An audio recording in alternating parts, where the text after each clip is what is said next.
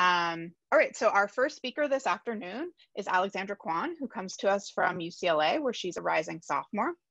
Uh, Alexandra has been working this summer uh, with Lauren, and she'll tell us today about her project, Modeling Chemical Abundance Evolution in Dwarf Galaxies. Go ahead whenever you're ready. Yeah. Hi, everyone. Thank you all so much for coming to my presentation. I am very excited to share with you all what I've been working on all summer. So let's start by breaking down this title. What exactly is it that we're doing? So modeling is when you have a set of data that you want to fit to an equation with certain parameters. And the simplest example I can think of to explain this is if you had a set of data that you wanted to fit to a straight line with the equation y equals mx plus b. In this example, the model is the y equals mx plus b, and the parameters are m and b. And the goal of modeling is finding the best m and b parameters that can make a straight line that best describes the data. Only our model will be a lot more complicated, but the same general principles apply. And what we are modeling is the chemical abundance, and that's the amount of different elements within a galaxy. Additionally, I will be using the term metallicity, which is also another way of describing the amounts of different elements. And evolution is of course the change over time. So putting it all together, we are working on finding a model with the best parameter values that explains how the different amounts of elements within a galaxy changes over time. So what is the importance of understanding metallicity evolution? On a larger scale, understanding galaxy evolution is crucial to understand how the universe develops. And specifically, we focus on dwarf galaxies because they are a lot smaller and more manageable to work with when making simulations and models. But they still have the properties of a galaxy. So it's kind of like this first step into understanding galaxy evolution as a whole. And specifically, when we look at the metallicity, it's kind of like looking at the DNA of a galaxy. It's everything that makes up the galaxy, so it largely impacts how the galaxy behaves. The only difference is the metallicity within a galaxy actually changes over time. As stars within the galaxy form new materials within their core, and those stars explode and release those materials into the galaxy, and those materials get mixed and form new stars, the process continues and the metallicity constantly evolves. And it's interesting to look at that change over time.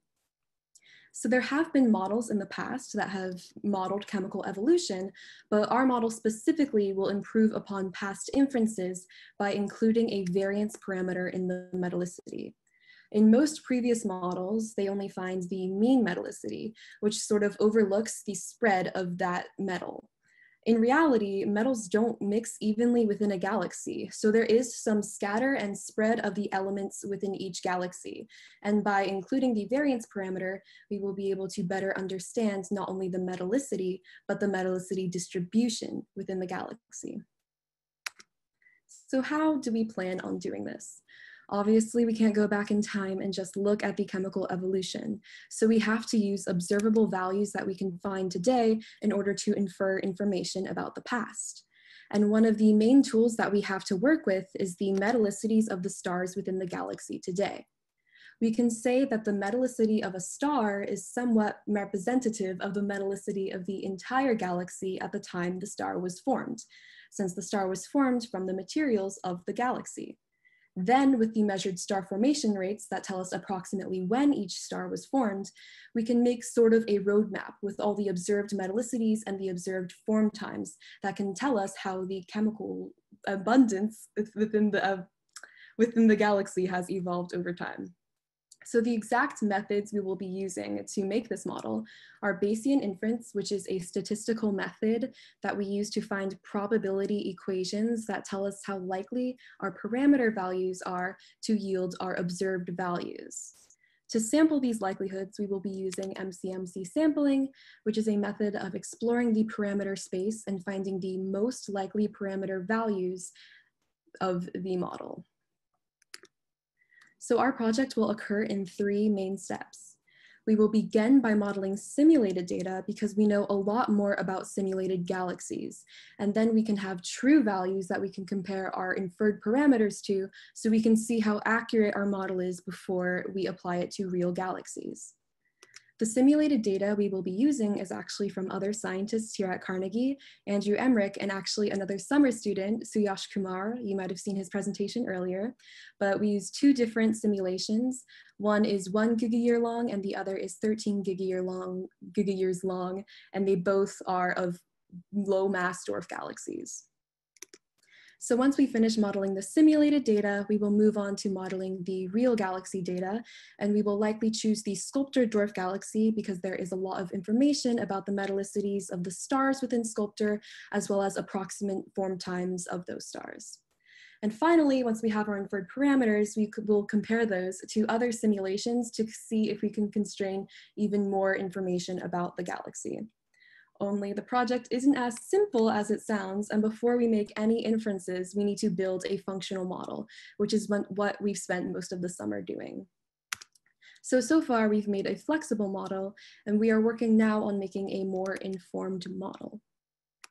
So our flexible model is what we first began with, and we directly put the chemical evolution parameters into our likelihood equations. So these parameters are the star formation rate, which tells us approximately how many stars are formed, the mean abundance, which tells us what metallicity we should anticipate from these stars formed, and then the variance from that mean. So we took the simulation and we divided it up into separate time steps. And we use these parameters for each time step. So at the end of the model, we can compare how the parameters have changed from each time step and therefore the overall chemical evolution. For the means and variances, we calculated it for each element, and a downside of this model is that it only works for one element at a time. We then compared all of these parameters to the observed values. So the star formation rate was compared to the observed star formation rate at the time period, and the mean and variances were compared to the observed metallicities of the stars formed in that time period. And all of this occurred within likelihood calculations that eventually returned us the best fit parameters. That were, those were the values of the star formation rate, means, and variances, and that helps us describe the chemical evolution over time. The only problem with this model is it was too flexible and it produced up to 500% error, which is far too large for what we wanted to do. So we knew that we needed a way to inform the model more about the actual galaxy physics. We had none of these parameters correlated. They were all allowed to explore their own space. And we decided we needed a way to coordinate the parameters more in order to align more with the true values. So that brought us to making the informed model. In our informed model, we use an existing chemical evolution model called ChemPy. So what ChemPy does is it takes in galaxy parameters and it runs a bunch of models based on stellar and star formation physics in order to produce predicted abundances. So the galaxy parameters that it takes in are things like how much each of each element, each star yields when it explodes, how much gas within the galaxy actually goes into star formation, how long it takes for a star to explode, and many other parameters that affect the final galaxy abundances. An interesting thing about ChemPy is it actually allows us to calculate the abundances for 30 plus elements at a time, which really opens the door to us exploring the chemical evolution of more elements than we were from the first model. So the way the informed model works is quite different from the flexible model because we use different parameters. Instead of the chemical evolution parameters, we are using the galaxy parameters, which again are all different properties of the galaxy that impact the final abundances of elements within the galaxy. So all of these parameters are fed into ChemPy, which then return us the most likely abundances based on those values. And we can compare those chemical abundances to the observed metallicities of the stars within the galaxy.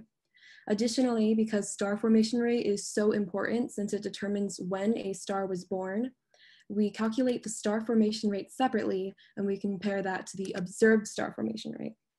And again, this all occurs within the likelihood calculations that give us back the best fit parameter values. The only difference is this time the parameter values are the galaxy parameters. And we can then feed those galaxy parameters back into ChemPy to get the chemical abundance evolution. So while this model is a lot more complicated than our first model, it actually gives us more information about the galaxy. not only do we get the chemical evolution, but we also can infer overarching galaxy parameters that really describe how the entire galaxy has evolved. So there is a lot of future work to be done because we haven't even finished with the informed model yet. So one of the main things we have to do is we have to understand ChemPy better. This has also been one of the main challenges in making this model, is that ChemPy is such a complicated code with hundreds of parameters that all affect the abundances in different ways. We really need to study each parameter and their equations a little bit more so we can better understand what is actually impacting the final abundances so we can adjust our model accordingly. Additionally, it is very slow right now. Our model takes a very long time to run. So we are looking into ways to speed up this process, which include looking into possible different sampling methods, as well as training a neural network on ChemPy. And of course, the ultimate goal is to apply this model to the Sculptor dwarf galaxy. And it will be very interesting to see not only the chemical evolution of the dwarf galaxy, but also the variance within the distribution, as well as the overarching galaxy parameters. So just from the observed star formation rates and the observed metallicities of the stars, we can tell a lot about the dwarf galaxy using our model, which is very interesting. So that's all I have. Thank you all for listening. I can take any questions now. All right, very nice job. Questions for Alexandra? Oh, I think I probably could say something or ask something. If Go okay. ahead, Andy. Um, yes, yeah, so this ChemPy, um, I guess I should read more on models, but um, in dwarf galaxies, just observationally, I see a preponderance of or excesses of S process elements. Mm-hmm. And I mm-hmm. always thought that that was because gas is just leaking out of the galaxy and the lowest velocity gas is ejected by AGB stars and they make S process elements. And then, you know, the mean metallicities being low mean to me that probably a lot of gas is left. So does this program, ChemPy, consider uh, leaky boxes like that that depend that um, has you know different leakage rates you for example uh, type 1a supernova have pretty high velocity ejection velocities so you might expect more of that to escape uh, and so and so forth yeah, ChemPy actually does take all of that into account. That's some of the many parameters that I mentioned that we aren't working directly with, but they are incorporated into the model.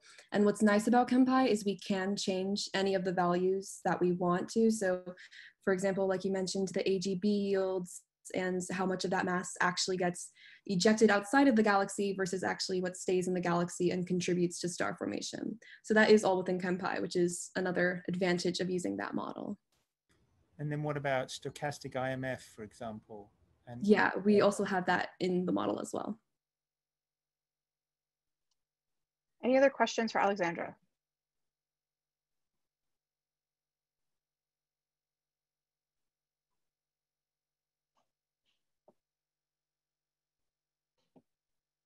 All right, everyone's being so shy today. Okay, all right, very nice job, Alexandra. Thank you. Uh,